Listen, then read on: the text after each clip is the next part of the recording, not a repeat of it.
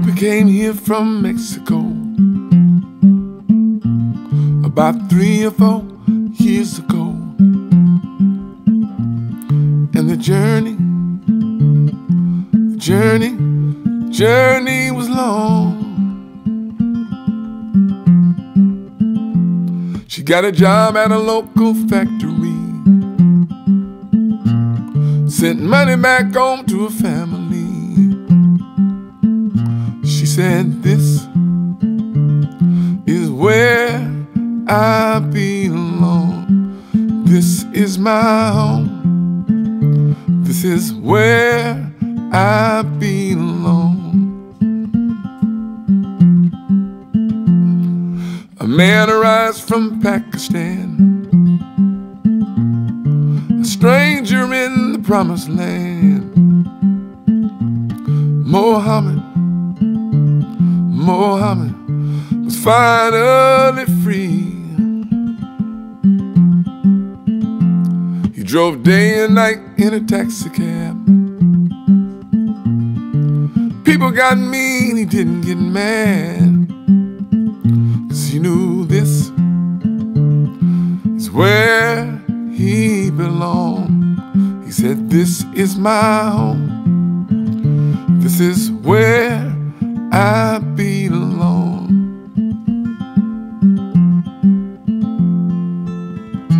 La la, la la, la la, la la, la la la la la. La la la la la. Had school on Monday night. When a man walked in who looked just right.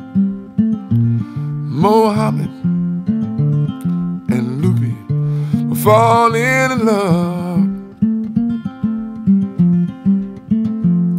And they raised a beautiful family. taught them all their history. They knew this is where they belong. This is their home. This is where they belong. My people came over from Africa to North and South America and the journey, the journey, journey was long. Well, they sacrificed and they paid the price. So I could live this wonderful life. And I know this is where I belong. This is my home. This is where I belong.